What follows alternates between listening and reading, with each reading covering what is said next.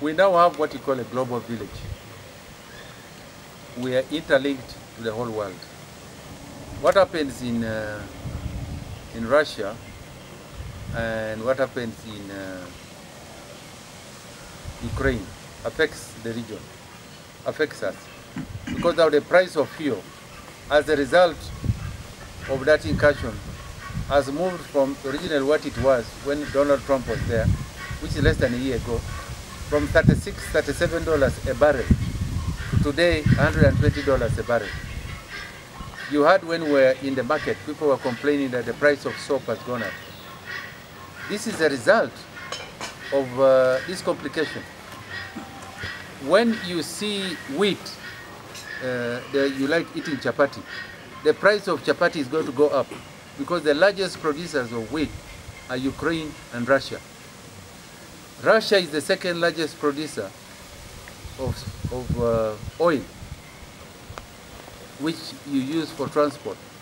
And anytime the price of oil goes up, like it has gone up, you know that even your shirt, the cost of your shirt will go up. The cost of soap will go up. The cost of whatever food you eat will go up. The cost of, of construction will go up. So that war affects TESO. That conflict affects the whole world. What is my view? I think the best way would have been the de-escalation, a peaceful settlement of this conflict. Because the third world, which tends to remain non-aligned, needs to note that peace is very important because during the First World War and Second World War, they're using what you call basic weapons. The largest they had was the Katyusha, uh, which uh, was made by, or what they call, they called it the Stalin organ. It was used against Hitler by the Russians, because the Russians are the ones who defeated Hitler. Because of, they attacked uh, uh, Russia during winter. Uh, Hitler attacked uh, Russia during winter. And USSR was able to mobilize very quickly and wipe them off. In that war, millions of people lost lives. Millions. This, if there is a third world war, this could be the end of life. Because Russia has got the largest number of nuclear warheads in the world, followed by United States of America. Now, therefore, it is important that the third world is part of this effort.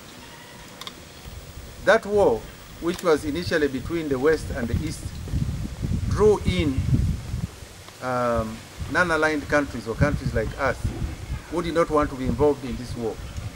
But where we have reached now, I think it is important for people to note that we do not want war, we want peace. That is our direction. Africa does not want war. Africa wants peace.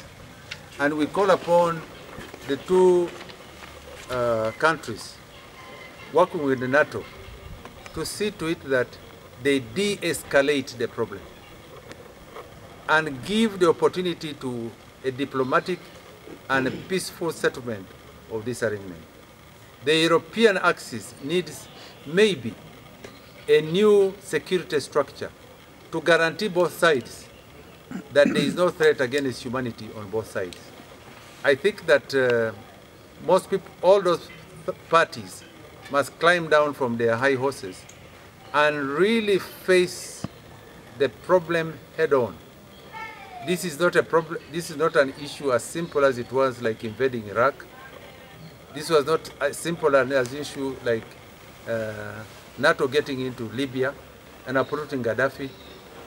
You are dealing with a nuclear equipped nation like Russia. And I want to assure you that this matter is not as simple as it is.